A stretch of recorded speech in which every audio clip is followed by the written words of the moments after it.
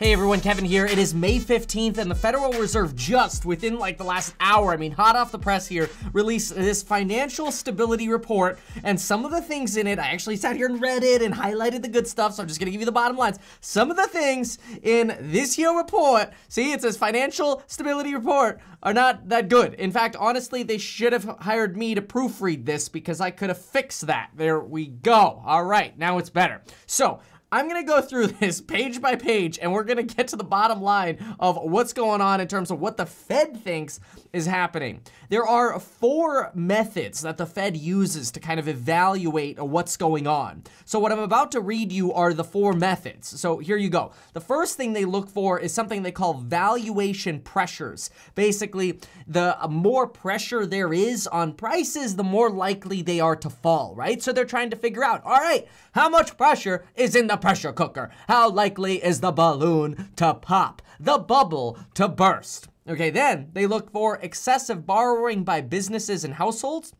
Then they look for leverage within the banking sector, basically, and then they look at uh, funding risks like credit markets and things like that. A lot of this stuff is so hard and boring to read. I'll, I tell you, I did not get to level 99 coffee drinker by reading Goosebumps, okay? Although I much preferred reading Goosebumps. okay, let's move on to some of the actual findings right here because right now, th this is just kind of what they're looking for. Well, here we get to uh, their first finding. Their first finding on asset valuations, and then we'll go into detail on each of these because this here, just so you know, is the overview. So let's hit the overview and then we'll go in deep. But let's just read the highlighted stuff because that's the juicy stuff, okay? Asset valuations. Asset prices have been volatile around many markets. In fact, if you Google something called VIX, V-I-X, you'll get what's known as a volatility index. It tells you how many people are all of a sudden buying and selling relative to a different day. And as you can see right here, if we kind of zoom in, you get this insane volatility right around March 16th. You get this peak volatility and the bottom of our last market crash here in March was actually March 23rd right here. So you kind of almost see it happen like a ton of volatility right before prices go down substantially. And so it's, it's a really interesting chart to follow. And in fact, if I max out over here, you can see the last time we had a really fat peak was over here. Last peak was over there on October 24th, 2008 for this volatility index. So this is something really interesting to keep in mind when you're looking at stocks or investments or whatever.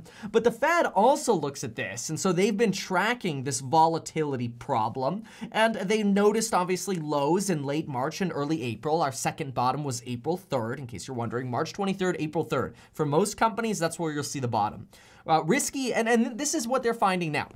Risky asset prices have risen and spreads have narrowed in key markets. Basically, the crappy stuff that is not so high quality is getting expensive really fast. Usually, when they talk about spreads, what they mean is the spread between risky and safe things. Think about it like this. If the US government borrowed $100 from you, that is you gave the US government $100 and you're like, oh, I hope they pay me back, the odds are they're gonna pay you back, right? So you're not gonna charge them as much interest. Let's say you're gonna charge the US government, I don't know, 1% interest. Well, let's now say, you know, uh, Venezuela comes up to you and says, hey, Kevin, can I borrow a $100 from you? You're like, yeah, I'll lend you a 100 bucks, but for you, I'm gonna have to charge you 9% interest because I just don't trust your currency as much. This is nothing against people. This is about money. It just has to do with money. Well, that spread is the difference, right? You're charging the US government 1%,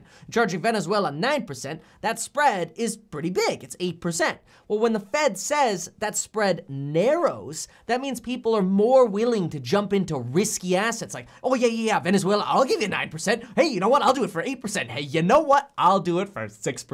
and, and that's sort of when you get these spreads converging, which is kind of a sign that people are becoming more comfortable with risk again. And that's what the Fed is starting to notice. But let's see what they have to say about that, what they have to say for themselves. Well, let's pull that sheet right back up and we'll see here that they say, asset prices, aka stocks and real estate, remain vulnerable to significant price declines should the pandemic take an unexpected course.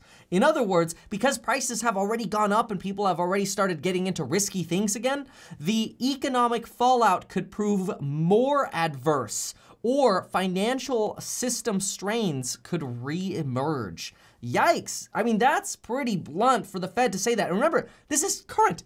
They just released this today, the afternoon. Uh, well, of course, after the stock market closed, they released it on uh, May 15th. So it's like, ah, that's not that.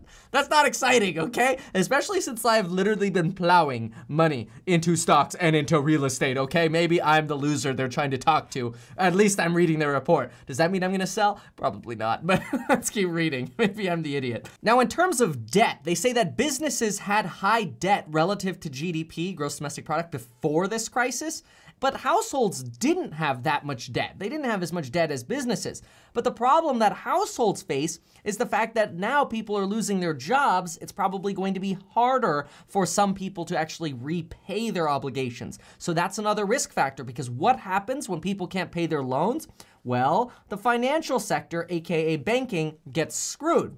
Now, they do say, to date, banks have been able to meet surging demand for draws on credit lines. Remember, I always advocate having credit lines, and in a crisis, you pull those credit lines so that the banks don't freeze them, okay? You don't want your credit lines frozen. That's how you start building wealth, okay? We talk about it in the money course a lot, talk about it in the real estate investing course, link below, coupon down there for you as well. Okay, back to this. The Fed also says that banks have been able to build loan loss reserves to be able to absorb higher defaults. This is really good. That is, what they're saying here is banks are kind of uh, doing something called uh, like kitchen sinking, where they kind of start throwing in a bunch of losses into their expectations for the future.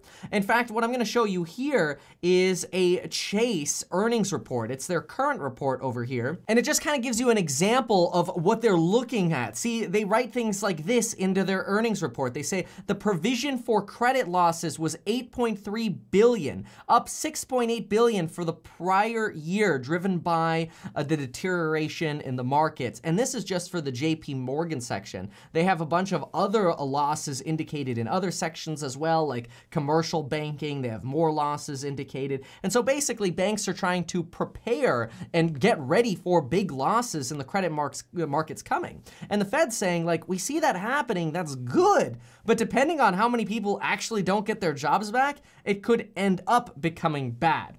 They do say that so far, the funding risk has proven less fragile than during the 2007 to 2009 financial crisis. That is, in 2007, 2009, banks are like, uh-uh, uh-uh, not lending at all anymore. We're done.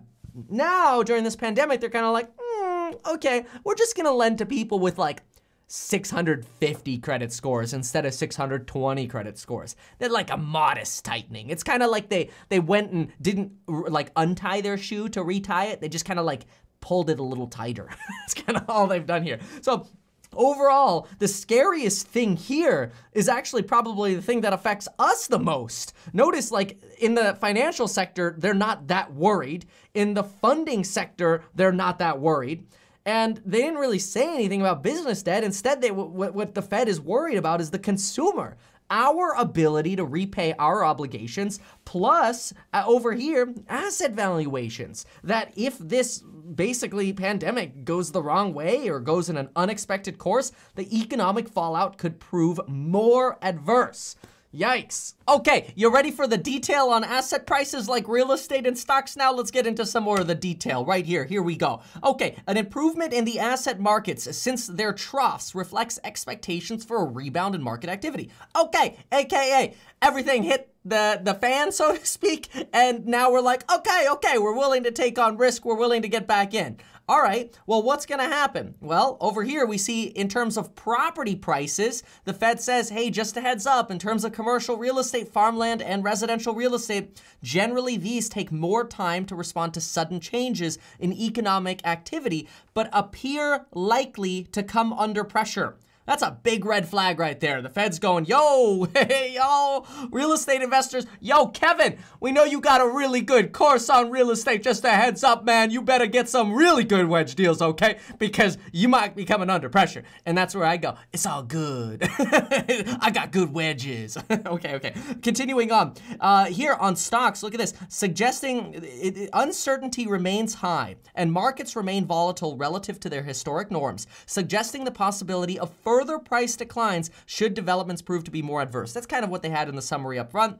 Price declines could be especially pronounced in areas where valuations have remained high and where asset values are sensitive to the pace of the economy. Now, that phrase is pretty specific to commercial real estate, in my opinion. Obviously, other things, certain stocks uh, could be heavily affected here as well, but the big one they point to is commercial real estate. And that makes sense because they kind of start bagging on commercial real estate a bit more. But let's just keep reading in order the pages they have. Here we have, however, prices in, in the stock market relative to earnings forecasts have risen since late March to levels seen before the outbreak. So they're saying in certain stocks, they're kind of as expensive as they were before the outbreak, which is kind of crazy.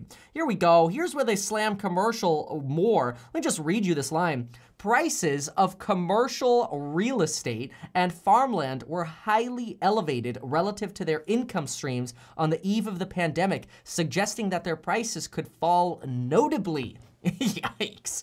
Uh, that's not good. This is exactly why I actually bought uh, and maybe I just shouldn't have it all, but I actually bought shares in this real estate investment uh, trust called Simon Property Group at about 33% off of their previous valuation. In my opinion, that is an oversold position. Uh, I uh, that is this is speculative though. Okay, this represents like less than probably nine percent of my portfolio. So don't go run SPG with all of your money. Okay, don't dump all of your money into this. But SPG is something that focuses more on, and, and I know this is gonna sound like cringe to some of y'all, uh, premium outlet malls, malls. I like I get it. That's not the sector you want to be in obviously you'll want to be in like Zoom and things like that. But if you're looking for value, in my opinion, there's a potential value play there. I mean, who knows? It's discounted over 67%. Uh, you know, they haven't cut their dividend yet. I'm expecting it to get cut. I'm not so worried about that, but it'll be interesting. This to me is my vaccine recovery play, personally, because they've gotten slapped hard. And that's the interesting thing is real estate investment trusts will move with the market like right away whereas actual like underlying real estate prices tend to take a lot longer. So you see that reaction right away in REITs, where you don't necessarily see it as fast in real estate. You kind of have to wait for rents to fall, people stop making their payments, then the cash flows get reconciled. It's like, oh, crap, we got less money yo, maybe we should cut the dividend. Maybe that 15% dividend is a little bit too high. In fact, let's take a peek really quick at what it is. Let's just type into Google here, SPG stock. Let's see what the dividend yield is together. Right now, the dividend yield and uh, a at a price of $50.32 or $51.32, it's showing up with a dividend yield of 16.37%. That's, that's not happening. That's not lasting, but look at it over the last uh, uh, five years here. And, and, don't worry, this is not the only thing I looked at. I didn't only look back at what the price was, but I, I, look at the actual underlying assets and the properties that they've acquired. And I know a lot of these malls. You can look it up; it's all public. But these folks, they're these they're selling for 2009 prices over here. Crazy. Which maybe you think that's reasonable. but anyway, I'm not trying to pitch them. Let's talk more about what the Fed is saying here. So commercial real estate may undergo a substantial repricing in response to disruptions generated by the COVID-19 pandemic. For instance, since late February, the hospitality and retail sectors have experienced precipitous declines in demand because of social distancing, putting the ability of these sectors to make timely mortgage and rental payments into question. Totally true. And that's exactly that kind of plummet we've seen in SPG. And what they're saying is this is what is to come for actual real estate, uh, sort of commercial real estate underlying property values. Kind of scary to, to see the Fed say these things. I mean, uh, th th this is definitely not a good feeling stability report. uh, then we've got housing prices were somewhat elevated relative to rents before COVID 19. That's interesting. House prices have grown at a moderate pace for the past several quarters, and nationwide, prices appear only a little above their long run average relationship with property rents. However, housing price to rent ratios vary significantly across regional markets.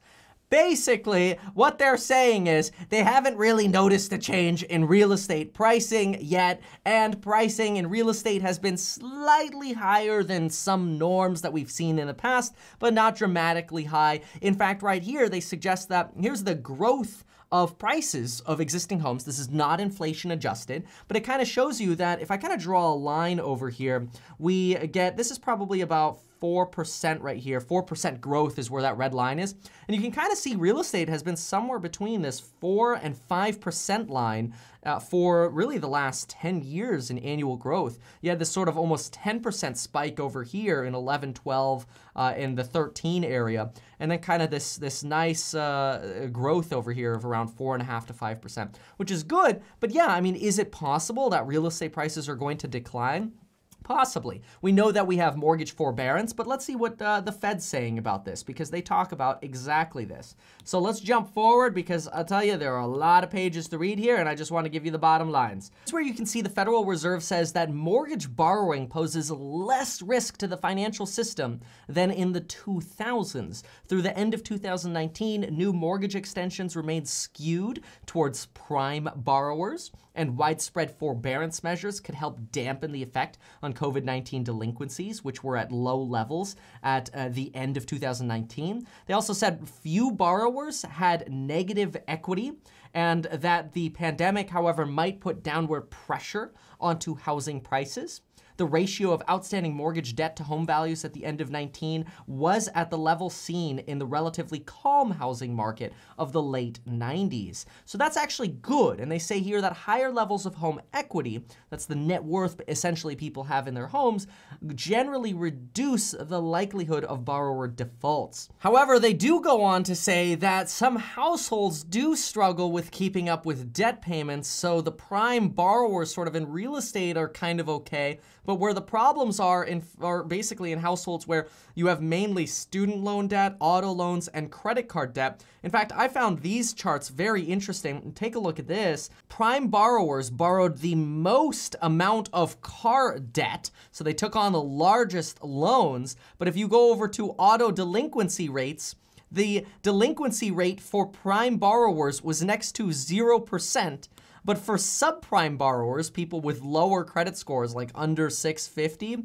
they had uh, delinquencies over here in the range of 10 to 12%. That's substantially higher. And you see the same exact thing in credit card delinquencies. Look at this. You see that people with higher credit scores took on substantially more debt. But when you go delinquencies, they had substantially fewer delinquencies. And this is really interesting when you compare it to real estate because what they're saying is in real estate, most of the people buying real estate right now are highly qualified. That is, they're mostly prime borrowers. We're not really seeing those uh, subprime loans that we used to see, those ninja no income, no job, no asset loans. So this to me is, is just fascinating insight into what the Fed thinks is actually happening in the market. And so I'm about to show you one of the bangers of this report. But before I do, I have to remind you to make sure to get your life insurance because this might be stress inducing. Get your life insurance. It takes you three to four minutes to do it on your phone. Some say up to five minutes. You Apple pay for it. Super easy to do. I've got it. Lauren's got it. Make sure you get your two free stocks with Webull. It's so funny. Like I look back at some of my old videos from like May 9th, and in the videos I'm like, you know, Webull says that promotion to get two free stocks when you deposit $100 is gonna expire, but they've said that before. I don't see it happening. And then it expired for like a day, and the next day I got an email from them going, Kevin, um, just a heads up, I guess that promotion was really popular and, and we're bringing it back. People really like the platform and they like their two free stocks. I'm like, uh, it's kind of what I figured you'd say. so, whatever. Uh, link down below for that. Okay, let's get to the banger here in this Fed report because, ay, ay, ay. And then I'll try to make a conclusion on all of this, okay? But golly, this is, uh, this is overwhelming. Okay, borrowing by businesses and households. Here we go. While household debt vulnerabilities were generally modest before the pandemic, the severity of the shock and the associated sudden increase in unemployment and sharp decline in incomes may lead to a significant rise in delinquencies and defaults on household debt. That's bad. When the Federal Reserve comes out and says we might see significant increases in delinquencies and defaults, that is a not a good sign for the rest of what's happening in the market. If anything, this is literally the Fed in a, how many pages is this? This is a 68 page report telling y'all, yo, we got 68 pages just to tell you, yo, Congress, we need some more stimulus because it, the banks are okay. We got them handled. The credit markets, we got them handled. We're worried about household debt and the consumers. How many more different ways do you want us to tell you, okay? You want another report? We'll have another report for you next week, okay? Or maybe we'll do a speech again. Anyway, in regards to my opinion on this, look, I'm not long-term train America person. I teach you my strategies in my money program in the course link below my investing strategies. My POV is I want to build the biggest, fattest treasure chest ever and have the most assets in it and the most wealth building over time. So I just keep dumping assets into this. Is that gonna go for a ride potentially with prices going down and up again? Maybe. But because I'm such a big fan of figuring out how to buy things below market value, I feel more comfortable. I try to take on as little debt as possible. My debt ratios are very, very low relative to what could be or what might sometimes be industry standard. Uh, that's one of my big safety nets, I say. But anyway, there you have my opinion, uh, my short opinion on what I'm doing in response to this. But I will say, that does make me nervous. That does not make me feel good about having bought stocks today, okay? But I did feel good about using Webull, and you should too. Thanks so much for watching, folks. We will see you soon.